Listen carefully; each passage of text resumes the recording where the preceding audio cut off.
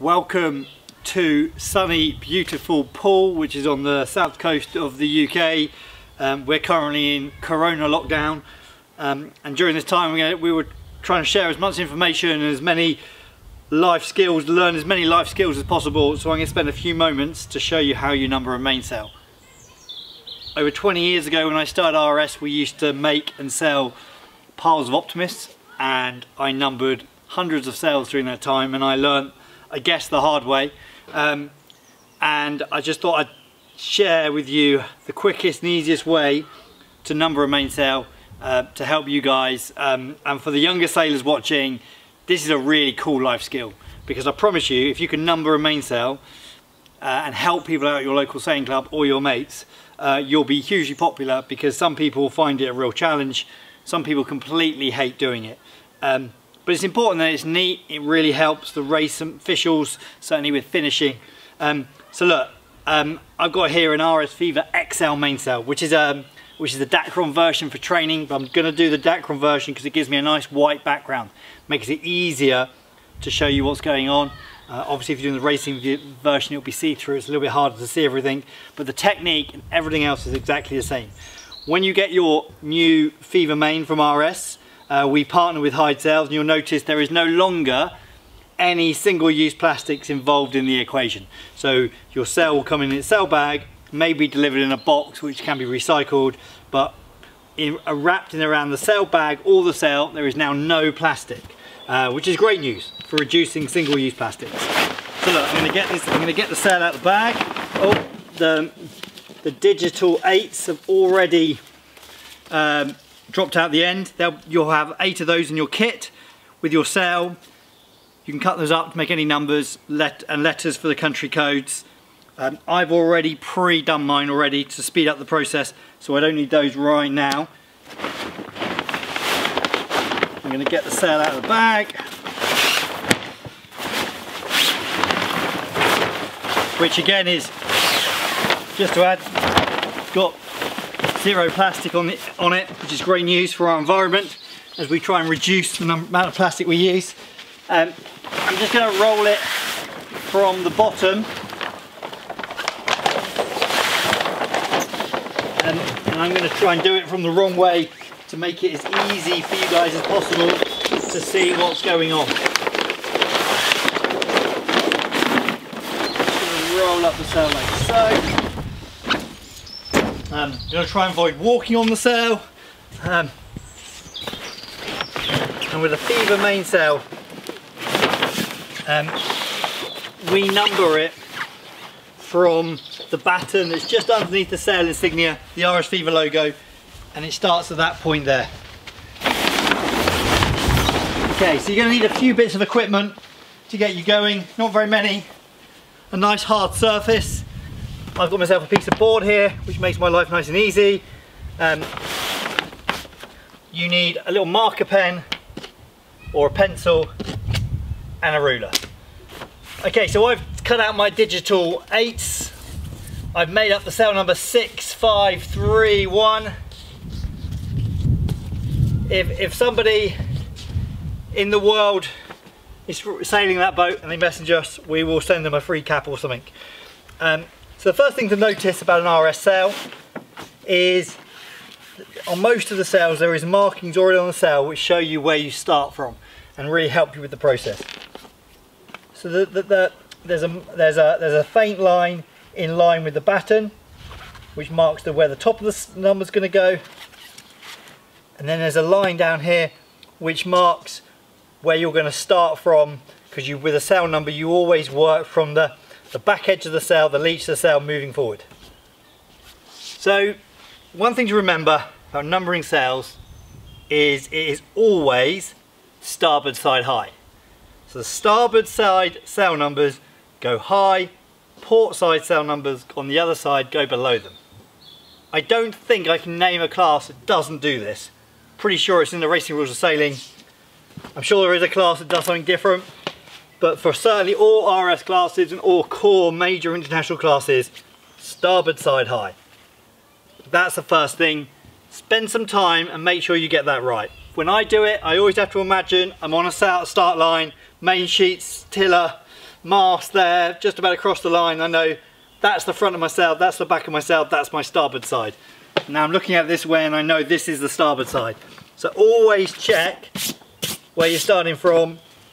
Again, I've laid the sail out as neat and flat as I can to make it as easy as possible. So my sail number is 6531.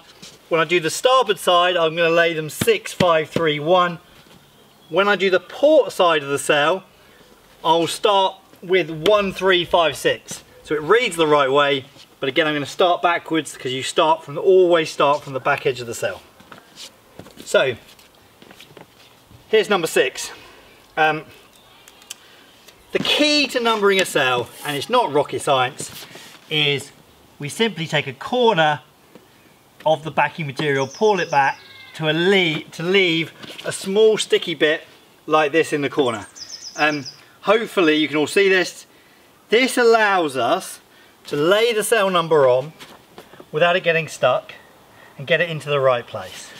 So look, I can see my top line's about here, my rear line's about there, and I'm going to lay it on. And once I think I've got it in the right place, I can just stick that corner on. And once that corner's stuck on, I can then lay it out and check that I think I've got it right.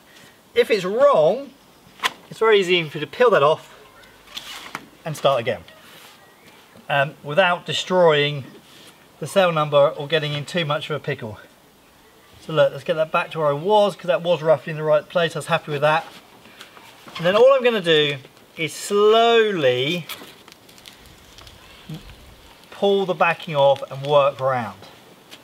And I don't quite know how to describe this, but never try and stick down a whole flat edge and always try and work to the corners and then it will go on nice and easy. Give it a little rub. Where, where there's stitching across your, your numbers, just give those a little bit more rub so it rubs into the stitches. And there's my number six, my first number. I'm then going to mark 45 mil from the top, 45 mil from the bottom. Gonna join them up with the line. I've got a ruler here that's not that straight. Um, little line in the middle so I know where I'm going. Um, so the general rule is if your cell numbers are 230 millimeters high, they are spaced 45 millimeters, you space them 45 millimeters apart and any class rule, most class rules that use 230 millimeter cell numbers, the class rule will state your cell numbers can be between 40 and 50 millimeters apart. It's not always the case, but generally that's the case. If your sail numbers are 300 mil wide, you generally go for a 60 millimeter gap between them.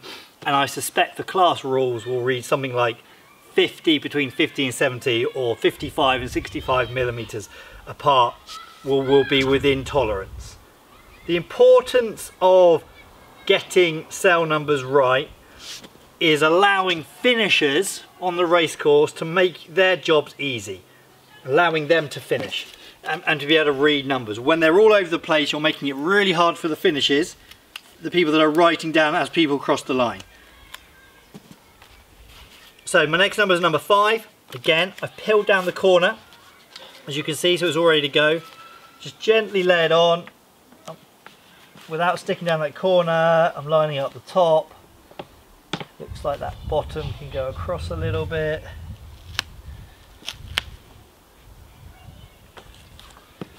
Okay, I'm going to give that a whirl. Oh look, that's kicked in a bit too far at the bottom I think. So I just need to do that again.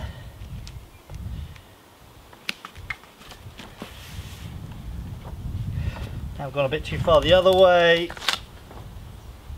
But again, with this technique of just pulling back the corners, uh, it's really easy. You can do it a lot time and time again. So now I'm not going to. I'm going to work one away first, get that side done, and then just follow, oh, the cell number down. If you get a crinkle like this I've just got there, it's no drama. Hold down a part of the cell letter or cell number that's good, that's, that's the right. Grab the rest, give it a yank up, and it allows you to simply relay it down. Cell numbers of this variety are pretty resilient. It's pretty straightforward to um, um, to pick them up and lay them back down again as long as you're careful. I put my pencil down somewhere, so I'm moving to my pen. Um, again, another mark, another 45. Tiny little mark up there. Tiny little mark down there, 45 millimeters apart. I'm then going for the number three. Again, so I'm just going to pull back the number here. Like so. Sharp fold.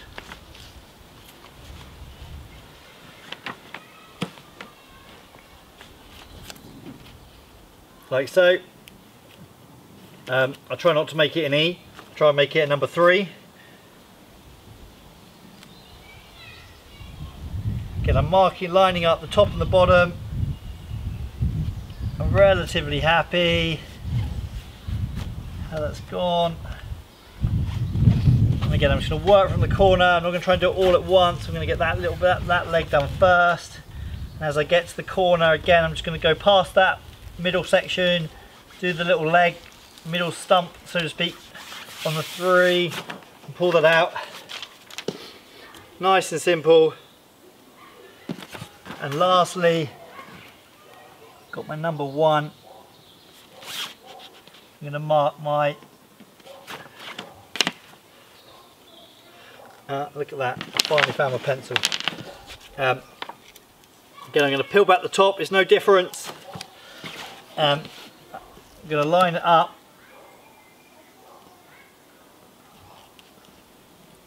Like so, stick down that edge and there we go.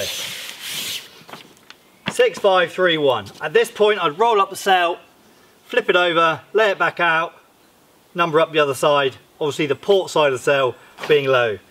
Super easy, give yourself some time, find a nice surf surface, small ruler, pencil and a pen. It couldn't be easier. Hopefully uh, it's a really cool skill to learn and hopefully come next year's Fever Worlds, wherever they may be, depending on what happens over the next few months, um, we as RS will need to number less of yourselves and you'll be fully pumped up and ready to do it yourself. But hopefully, as you can see, that cell hopefully is in class rules. I think it is. Um, nice and clear, nice and easy for our race officials to be able to read and understand. And also looking smart in photos. Another reason why cell numbers should always look good. My name's John. Thank you for tuning in. If you've got any questions about numbering cells, then just leave comments behind. Um, thank you very much.